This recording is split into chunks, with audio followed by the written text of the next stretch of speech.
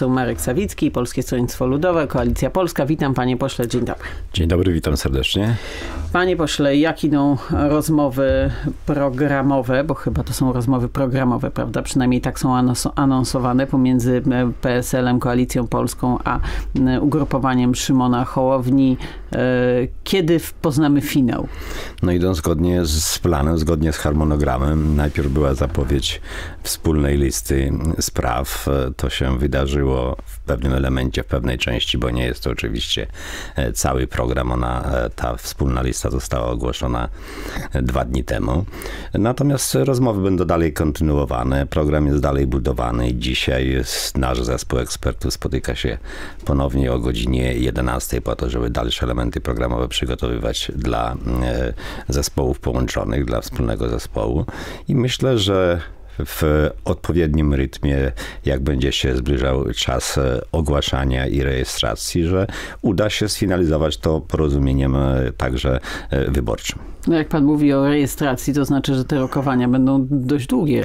Tak, pani redaktor, bo nie ma żadnej potrzeby. Ja nie ma się duże, co śpieszyć? Ja mam duże doświadczenie w polityce, nie ma się co śpieszyć, a wiemy doskonale, że konkurencja nie śpi. Oczywiście zbyt wcześnie zawierane porozumienia, koalicje, bloki, to jest także zbyt łatwe wystawianie się na e, żer, że tak powiem, niegrzecznie i, i, i, i walkę konkurencji. A ta konkurencja jest i po stronie e, partii opozycyjnych i także po stronie obozu rządzącego, więc nie ma się co tutaj oszukiwać. Trzeba skutecznie, powoli e, swój program prezentować. Zresztą robimy to na konferencjach regionalnych, na spotkaniach w terenie.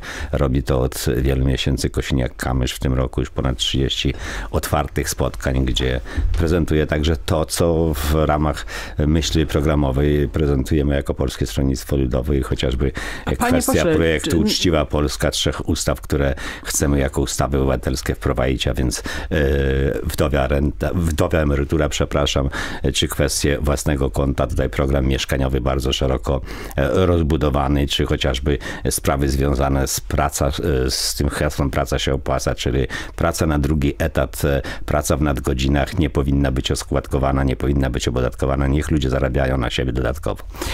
Panie pośle, a czy to no takie powiedzmy powolne wolne jednak prowadzenie rozmów. Jak pan powiedział, że nie ma co na żer się zbyt szybko wystawiać, to ma związek właśnie z tym, że się nie ma co na żer wystawiać, czy też należy jednak do końca obserwować sytuację i patrzeć, jak się kształtują sondaże, układy i ewentualnie jednak poszerzyć e, koalicję tą wyborczą, nie tylko do Hołowni ją rozszerzyć, plus te małe ugrupowania, które już z państwem są, ale być może jeszcze ktoś, nie wiem, Platforma Wspólna lista spraw. To było to podstawowe hasło ogłoszone jeszcze e, pod koniec ubiegłego roku, e, bo my uważamy, że trzeba jednak mieć dobrze przygotowany program i uzgodniony i on wymaga rzeczywiście dłuższych rozmów, negocjacji czasami drobne sprawy w takich projektach programowych budzą różnego rodzaju kontrowersje i wymagają wzajemnego wyjaśnienia.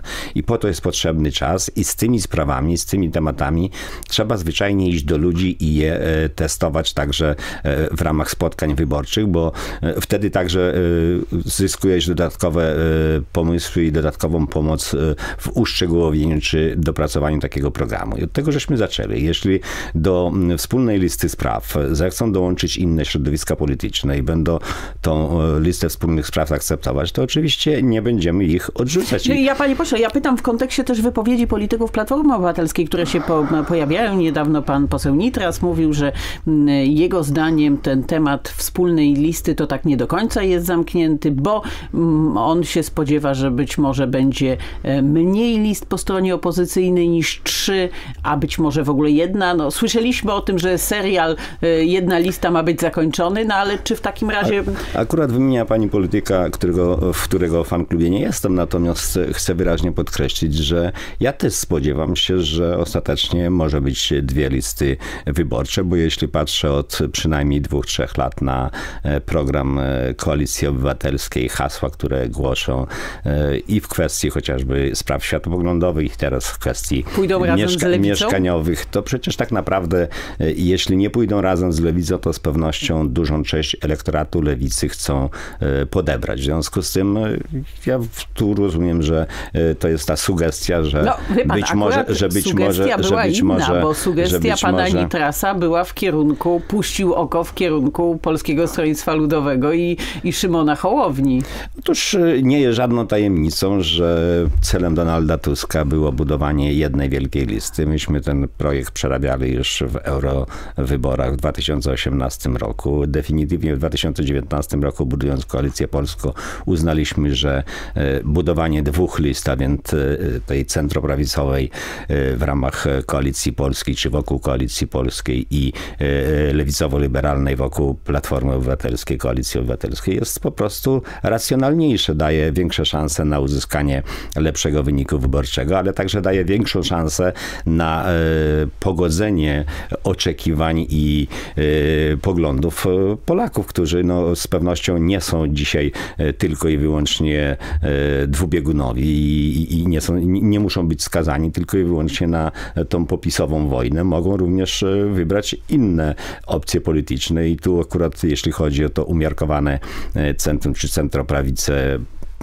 Pols Polskie Stronnictwo Ludowe, Koalicja Polska, yy, Polska 2050. To jest ta oferta, która w jednej, e, z jednej strony jest skierowana do części elektoratu Platformy Obywatelskiej, który nie godzi się na ten lewoskręt e, proponowany przez wiele miesięcy, czy, czy, czy jak powiedziałem, co najmniej dwa lata przez Koalicję Obywatelską, ale także do części elektoratu Prawa i Sprawiedliwości, który jest zmęczony już dzisiaj rządzeniem PiSu i tu jednoznacznie mówimy, tak jak zresztą publicznie wielokrotnie wypowiadał się Kosiniak-Kamysz, my nie chcemy nikogo pokonać. My po to budujemy wspólną listę spraw, żeby przekonać Ale dobrze, to panie pośle, to w takim razie... tych projektów, tych programów, Ja zapytam e, bardzo, wyzwań. E, bardzo wprost e, i pytam nie w imieniu PSL-u, proszę o pana opinię, pan poseł Marek Sawicki, Polskie Stronnictwo Ludowe, Koalicja Polska w koalicji wyborczej z Platformą Obywatelską, na czele której stoi Donald Tusk. Możliwy scenariusz, czy niemożliwy? Panie redaktor, jeszcze, jeszcze raz podkreślam. W mojej ocenie e, stan na dzień dzisiejszy jest taki, że e, my budujemy własny projekt, e, centroprawicę, Robimy to razem z koalicją z Polską i, i z ruchem Hołownia 2050. No tak, ale budujemy to nie znaczy zbudowaliśmy, dlatego ja pytam budujemy, o ten Budujemy, o ten dlatego, dlatego, dlatego że, jesteśmy, że jesteśmy otwarci także na nowe środowiska, na, na, na nowych partnerów i dlatego budujemy. Natomiast po to to budujemy, żeby nie zawracać kijem Wisły i nie wracać do tego, co proponowano przez Czyli ostatnie 3-4 lata. Koalicja z Platformą na której stoi, czele stoi Tusk, o, raczej mało prawdopodobne. Panie redaktor, ja nie będę wybierał mhm. platformie liderów i tego, kto będzie stał na jej czele. Ja nie chcę tu oceniać Nie, ale ja się Tuska, pytam, ani, który, który ani, lider ani, byłby ani, dla pana... Ani Tuska, ani Nitrasa. Ja po prostu zwyczajnie podkreślam, no, że, chyba nie że w mojej, że w mojej na pójście, pójście, pan Nitras. pójście PSL-u dzisiaj na liście mhm. E, Platformy Obywatelskiej z jej e, lewicowym programem po prostu zwyczajnie a gdyby, kasuje PSL. A gdyby liderem ja jestem, tej listy ja jestem był za Rafał tym, żeby... Trzaskowski, to by pan jak jakoś e, zmieniał opinię? Jeszcze raz podkreślam, to nie, jest, to nie jest kwestia lidera, to jest kwestia mhm. programu i ja bardzo pilnie śledzę to, co przygotowuje Koalicja Obywatelska, to, co głosi na spotkaniach otwartych Donald Tusk i ten wyraźny lewoskręt, no chociażby kwestie związane z aborcją na życzenie, czy kwestie związane mm, z tym projektem mieszkaniowym, gdzie my mamy o wiele bardziej i lepiej rozbudowany swój projekt, no nie są mi po drodze.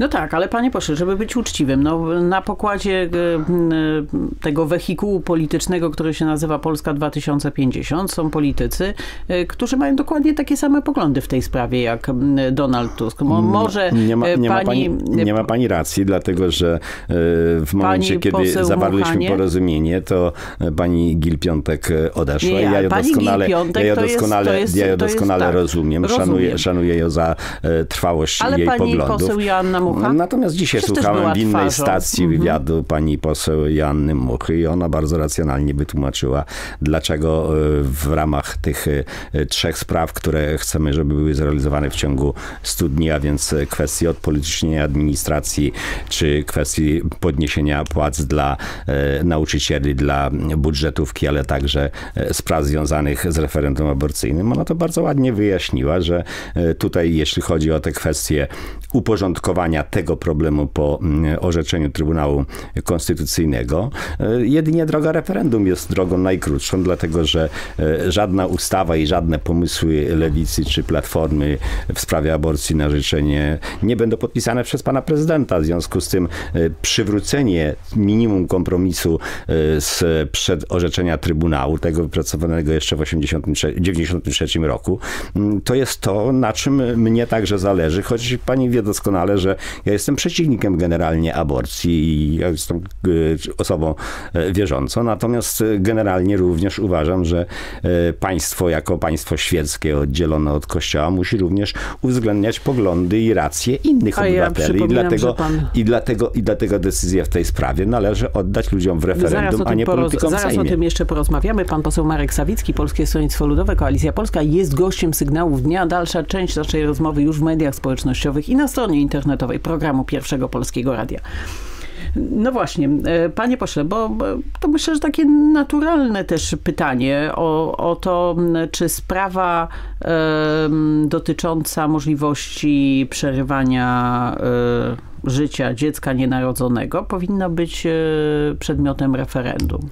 Otóż pani redaktor, zgodnie z, że tak powiem, z, z regułami mojej religii, e, z pewnością nie. Natomiast jeszcze raz podkreślam, że jako obywatel, jako poseł, jako polityk e, muszę brać pod uwagę także racje niewierzących i te racje są coraz głośniejsze i coraz silniejsze. W związku z tym nie można pozostawać wobec no, tego ci, całkowicie obojętnym. I nazywają chcę, i chcę, i chcę przypomnieć, że, osób niewierzących że kwestie... mówią panu, przepraszam bardzo, wejdę w słowo, że oni nie chcą tego referendum. Mówię o posłach lewicy. No, ja chcę powiedzieć, że akurat e, to środowisko e, co najmniej trzykrotnie zbierało podpisy pod referendum e, w tej sprawie jeszcze kilka lat temu i, i, i, wtedy, i wtedy im to nie przeszkadzało, że praw człowieka się nie poddaje takiej formule decyzji obywatelskiej.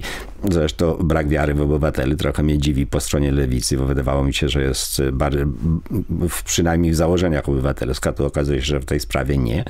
Natomiast chcę jeszcze raz podkreślić, że y, także Kościół w kwestii y, y, aborcji był po stronie kompromisu aborcyjnego i, i, i naruszenie tego kompromisu, byśmy tej w ogóle sprawy byśmy tej nie ruszali, gdyby nie kwestia naruszenia tego kompromisu i tych ogromnych protestów społecznych poprzez orzeczenie Trybunału, raz, a dwa, no chociażby w tej chwili ten wypadek ze Szczecina i, i, i sprawa dokumentacji medycznej dr Kubisy, no to też e, skłania ku temu, żeby ten problem rozwiązać e, także od strony prawnej, nie tylko traktować jako, jako, jako, jako kwestię moralną. Panie pośle, zmieńmy temat. Jak pan ocenia decyzję Trybunału Sprawiedliwości Unii Europejskiej? Te wczorajsze decyzje to są e, sprawy dotyczą generalnie lasów państwowych, no ale w tym jest takie otwarcie furtki organizacjom ekologicznym do tego, żeby de facto blokować pracę poszczególnych nadleśnictw. E, jak pan na, na to panie patrzy? Dyrektor, ja generalnie oceniam dobrze funkcjonowanie lasów państwowych y, i to jest dorobek Polski już ponad stuletni. Y, to jest także dorobek polskich uczelni, między innymi Wydziału Leśnego SGGW, gdzie y, cała kwestia kształcenia takiego profesjonalnego ludzi zarządzających lasami zaczęła się. I chcę wyraźnie podkreślić, że niedobrze, kiedy nie znający się na e, przyrodzie, nie znający się na gospodarowaniu przyrodą, e, zajmują się jej regulowaniem.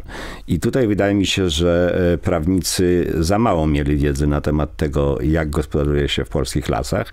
Oczywiście mnie też czasami niektóre rzeczy bolą i zastanawiają, no ale ja już oczywiście nie jestem leśniczym, bo kilka dni temu, będąc na wschodzie Polski, w województwie podlaskim, powiecie hajnowskim, no jechałem to to, że tak powiem, serce krwawiło, jak widziałem, ile drzewa w lesie, wiatrołomów leży, kompletnie nieruszonych, niesprzątanych.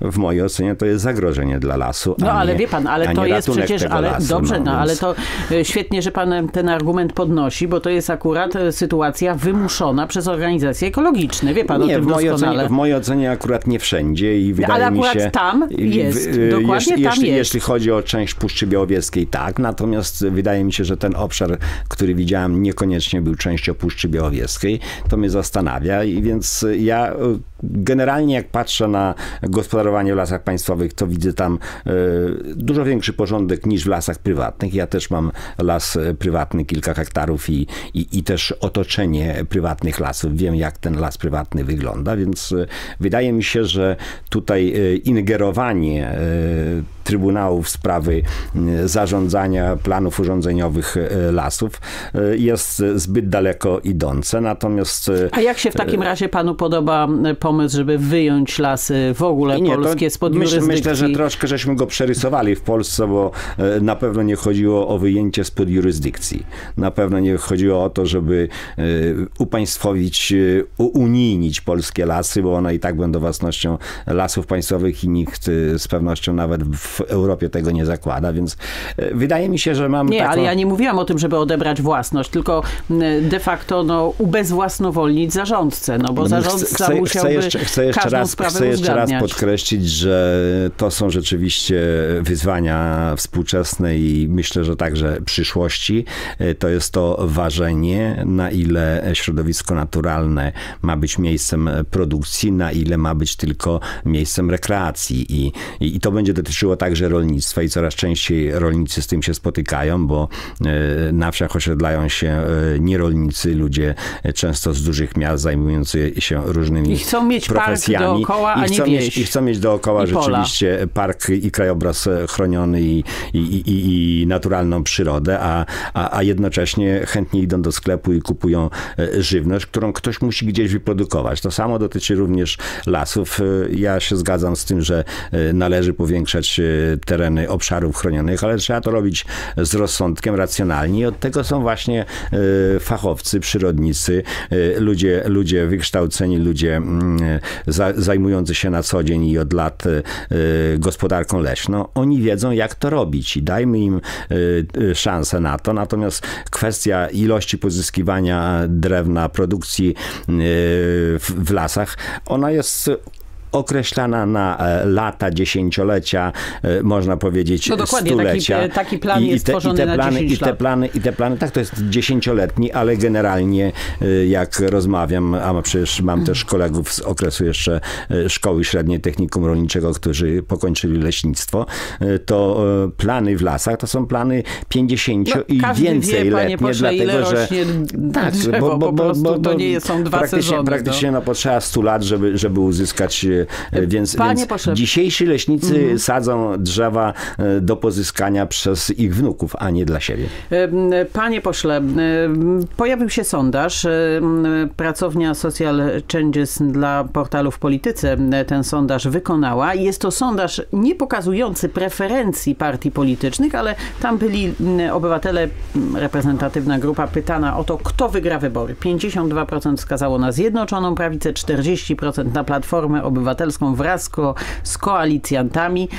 Przy czym z tego badania wynika, że e, elektorat e, opozycyjny jest jakby mniej przekonany, tak to można powiedzieć, o tym, że e, to ich reprezentanci wygrają. Jak pan Otóż, patrzy na panie badania? redaktor, mm, ja patrzę na ten sondaż jako na kolejny, który chce kształtować opinię publiczną, natomiast mam głębokie przekonanie, że projekt, który przygotowuje Kozieniak-Kamysz z Hołownio i wspólna lista spraw przekonają na tyle wyborców, że tym pierwszym wyborem za 8-9 miesięcy będzie lista wyborcza tworzona przez nasze środowisko polityczne i ja już widzę nawet pewną rezygnację, jeśli chodzi o e, lewicę, która wskazuje, że e, e, jakby była już przekonana, że to z Platformy Obywatelskiej ma być premier, a ja mówię, a dlaczego nie z No chyba z lewicą wyborczej? to tak nie do końca. Partia Razem mówi, że absolutnie żaden Tusk. Ja, ja słyszałem innych także liderów niż z partii Razem, więc chcę wyraźnie podkreślić, że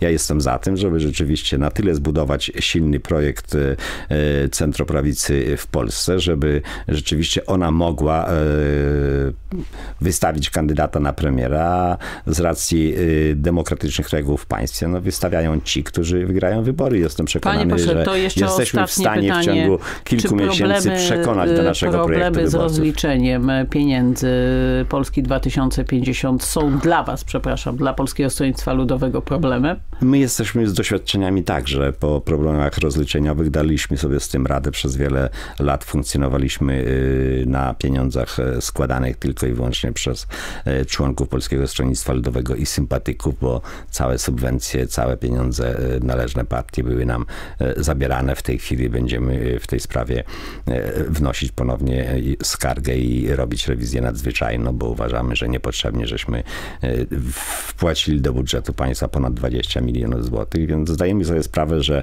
różne błędy, różne problemy pojawiają się, natomiast mamy już to doświadczenie, które wskazuje, że ostatnich kilka kampanii rozliczamy w sposób Nie, ale ja, i... ja, ja, ja rozumiem, że państwo są doświadczoną formacją i to jest jakby zupełnie co innego, no ale jednak Polska 2050 no, zbiera pieniądze na stowarzyszenia czy tam organizacje okołopartyjne, ale tego, posługuje tego, się na przykład nie, tego, stroną tego, internetową wiem, partii mieliśmy, politycznej. Mieliśmy sytuację, w której jeszcze nie było partii politycznej, a Państwowa Komisja Wyborcza orzekła, że nie, no, partia, partia polityczna, polityczna korzystała. Nie, nie, była, nie była zarejestrowana w sądzie, więc partii politycznej nie było. Działali jako stowarzyszenie w oparciu o fundację. Natomiast dopiero kiedy dostali rejestrację w sądzie, mogli założyć konto partii i funkcjonować. Bez, bez rejestracji sądowej partia pośle, po prostu zwyczajnie byli zarejestrowani i każdy wie, jak kto coś rejestruje w sądzie, to wie, że jak to wygląda. Państwowa Komisja Wyborcza dwukrotnie stwierdziła, że byli zarejestrowani. Sąd Najwyższy w tej chwili oddalił skargę ja, Polski ja 2050, inno, inno, bo powiedział, że byli zarejestrowani. Panie redaktor, ja mam inną wiedzę na ten temat. Być może trzeba zaprosić tutaj Szymona Hołownik jeszcze raz to opinii publicznej wyjaśni. Jeszcze raz podkreślam, dla mnie nie jest to problemem, dlatego że jeśli będziemy tworzyć wspólny komitet, to jestem przekonany, że e, nasi księgowi, nasza księgowa doświadczona już w rozliczaniu wielu kampanii, także Czyli pomogą rocznych, spokojnie damy sobie z tym radę. I tutaj e, stawiamy kropkę. Pan poseł Marek Sawicki, Polskie Stronnictwo Ludowe, Koalicja Polska, był gościem sygnałów dnia. Dziękuję bardzo. Dziękuję bardzo.